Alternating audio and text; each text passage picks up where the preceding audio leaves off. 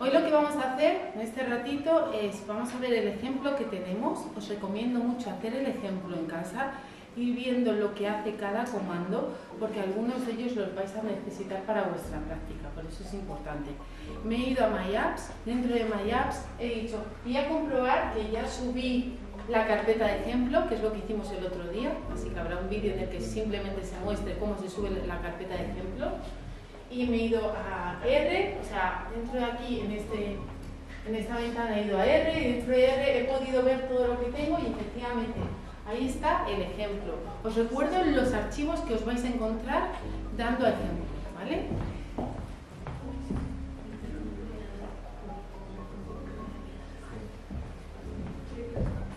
esta carpeta de ejemplo que estaba en, aula virtual, lo único que hice fue sacarla, la tuve que extraer porque siempre que está en aula virtual nos lo hacen un archivo zip, la tuve que descomprimir, guardármela, una vez ya se había descomprimido, y pegarla aquí arrastrando, lo, que hice, copiar y pegar.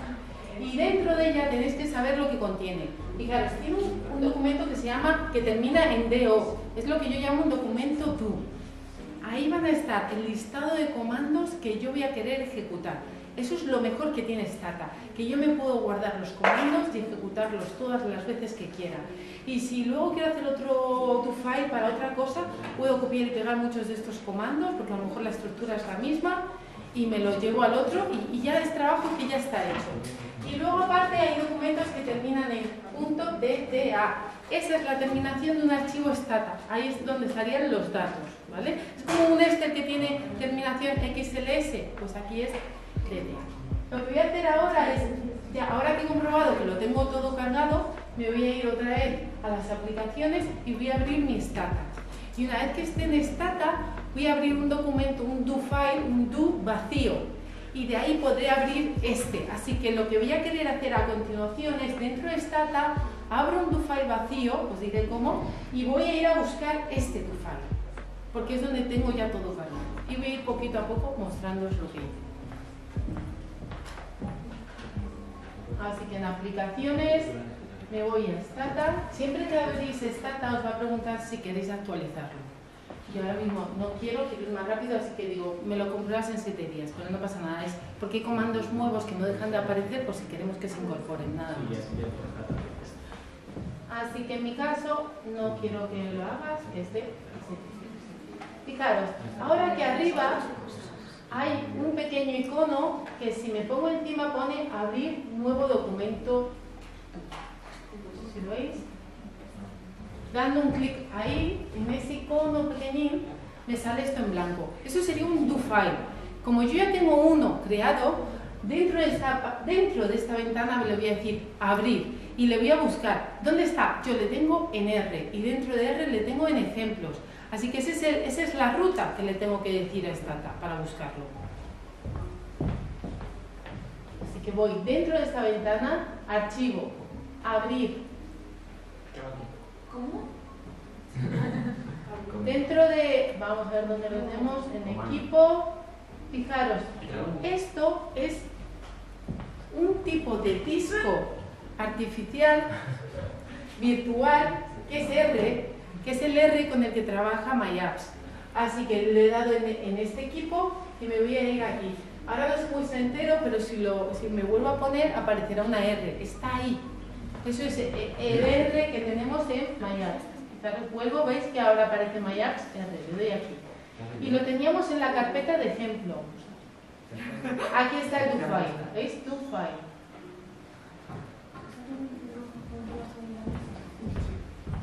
Es este. Le vamos a ir ejecutando poco a poco y voy a ir aprovechando para explicaros cada comando.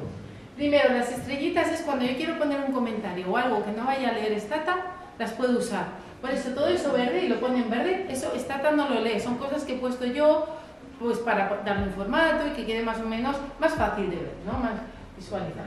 Clear all, clear es limpiar. All, todo. Es por si tengo algo. Esto para mí es mi campo de trabajo. Si tengo algo, porque ya cargo una base de datos, pero yo ahora no la quiero, lo limpio todo. Cuando yo limpio, cuando hago un clear, no estoy borrando nada.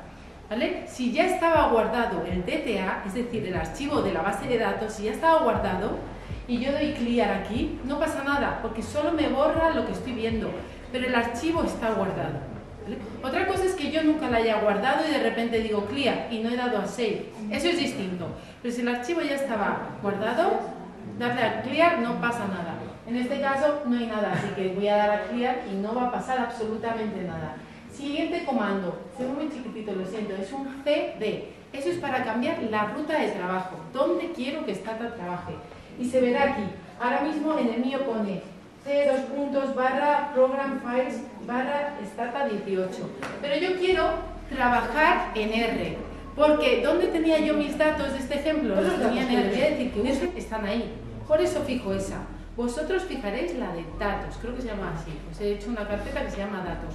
Fijáis eso y podéis compartir este documento el que creéis entre vosotros, porque siempre va a estar la misma ruta, todos tenéis la ruta. R, datos, es exactamente la misma. ¿Qué hacemos a continuación? Pues fijaros, setMoreOf se utiliza muchas veces para cuando los resultados que me da aquí en esta ventana de resultados son muy largos, Stata me pide, ¿quieres seguir viendo? ¿Quieres seguir viendo? Y a veces yo no quiero estarle diciendo a Stata, sí, dando a intro. Con setMoreOf, si yo voy a hacer algo largo, hace que lo ejecute todo sin pararse. En este caso realmente no lo necesitáis. Me salto lo del log. El log tampoco lo necesitáis para vuestra práctica. Eso es un documento que hace aparte Stata donde guarda el qué. Todo lo que se visualiza en la ventana grande de resultados. Si quisiéramos tener una prueba de todo lo que se ha hecho, haríamos un documento log. Y esta es la forma de ponerlo, el capture log y el log. El capture log es porque a veces lo dejamos ejecutado a medias y luego volvemos a ejecutarlo, por favor. Y si está ya uno empezado, da problemas, pero si ponemos el, el capture log es, close, es como eh, capturamos la forma de cierre y es como volver a empezar, ¿vale? Por eso se suele poner así. Pero vosotros no lo vais a necesitar. Vale, comandos interesantes que sí que vais a necesitar, además del cd. Sería el siguiente, use. Use es para abrir.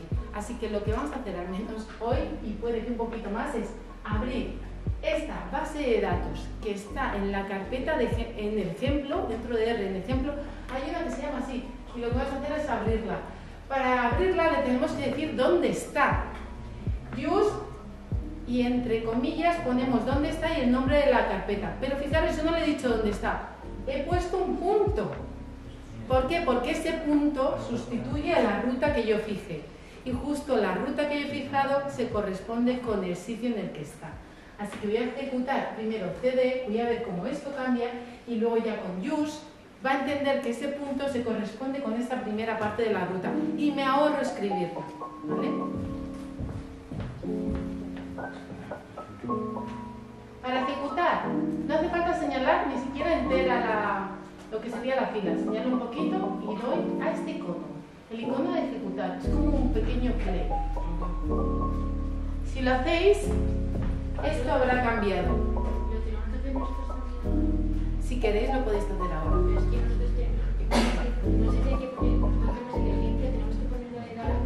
No, seguir, hacer el ejemplo conmigo, porque como os he dicho antes, es muy recomendable para ver el ejemplo y ver lo que va pasando. ¿Vale? Por eso yo quiero hacer el ejemplo. Luego vosotros ya haréis, cuando sea vuestro momento y ya estéis más preparados, haréis tu vuestro.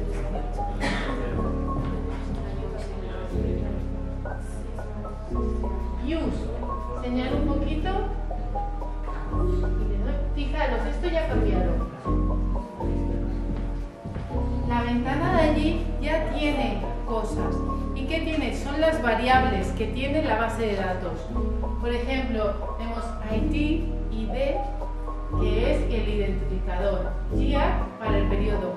Incluso hay lo que conocemos como labels, son como etiquetas que nos dan un poquito más de información. Va desde 1980 hasta 1984, si no me equivoco, se ve un poco pequeño. Y luego, pues eso, distintas variables. Voy a abrirlo. ¿Y cómo vemos los datos? ¿Cómo se abren? Pues vamos a ir allá arriba y en lo que sería el icono que es como una cuadrícula con un lápiz, puedo coger el de la lupa o el lápiz, me da igual. El de la lupa me permite cambiar cosas cuando me meto. El de, perdona, el del lápiz, el de la lupa solo ves.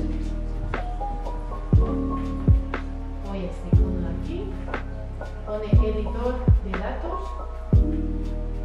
y aquí estaría mi base de datos.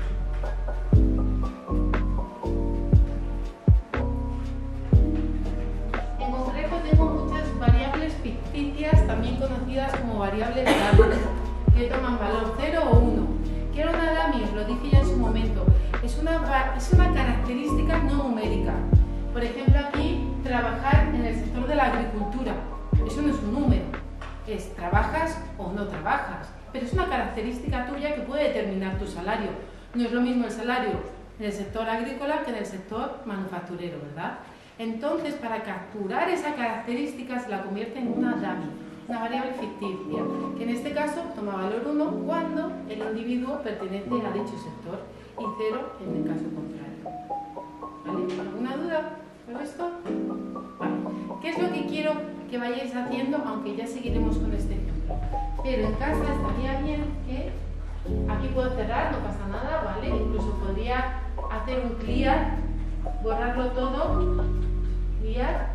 No, se ha ido todo, pero yo voy otra vez a mi file. Para ir a él tengo que volver aquí.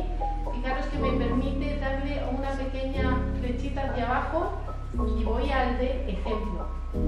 Lo vuelvo, vuelvo a ejecutar esto, el use, y ya lo vuelvo a tener. ¿Veis? Porque realmente no ha borrado el documento, simplemente había limpiado mi campo de trabajo. Le he vuelto a dar a use y lo ha vuelto a abrir. ¿Qué es lo que tenéis a continuación? Son pequeños descriptivos, me gustaría que los vierais. Primero, count es contar, me dice el número de observaciones, es decir, número de filas que hay aquí abajo. Descriptive me va a dar una descripción de la base de datos entera. Yo le podría decir, descríbeme una variable, la que yo quisiera, ¿vale? Podría elegir, en lugar de toda la base de datos, solo una variable. Eh, sumaráis son otros descriptivos. Aquí lo que tenemos en el fondo son varios descriptivos. Y fijaros, Codebook, que es uno de ellos, que me gusta bastante, lo puedo hacer con toda la base de datos o simplemente con una variable. En este caso es el estatus en términos de matrimonio, si estás casado o no estás casado. Esta variable estará allí en la lista. Os pongo algún ejemplo y ya está. Fijaros, count. Señalo un poquito y doy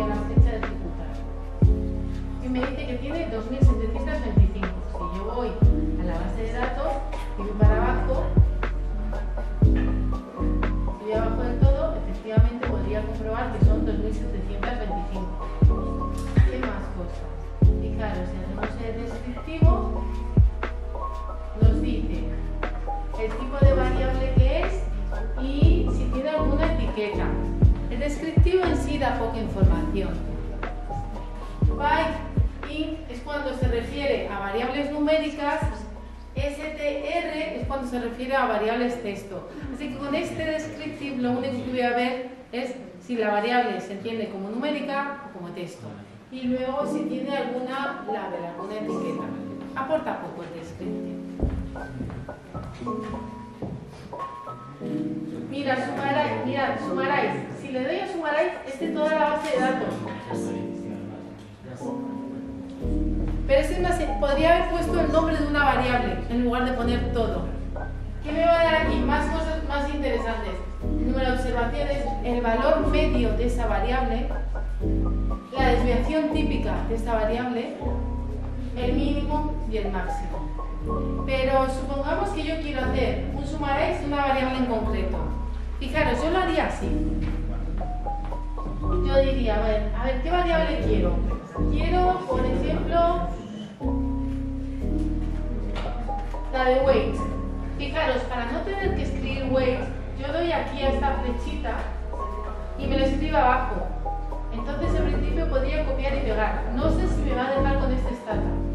Mi ejemplo, y aquí pego, a ver si me deja, sí.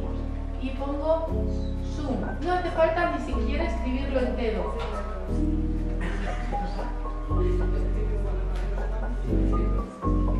Y me hace el sumario. otra virtud que tiene Stata. No necesito escribir el comando entero. Simplemente con escribir cómo empieza el comando, en lugar de escribir sumarais, yo normalmente pongo sum y la variable que quiero ver. Y ya está. ¿Vale? Comento el último, el de codebook, para ver que veáis las diferencias. Pero este básicamente sumarais es la media, la desviación típica, valor máximo y mínimo. ¿Qué nos ofrece Codebook?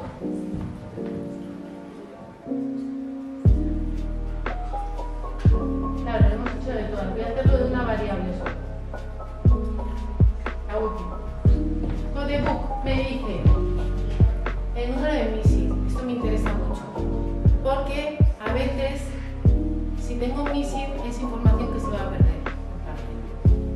valores de los que no tengo información. Yo cuando uso el codebook es principalmente para los misis. Y luego aparte me da los valores que representan el primer percentil, eh, el cuarto, quinto, o sea, los, bueno, realmente aquí estarían los cuartiles, pero nos está hablando de eso, de la división en porcentajes, 25%, 50, 75 y 100%. También viene la media, la desviación típica y poco más, ¿vale? El próximo día, por favor, continuaremos con otros comandos que son de unión de bases de datos.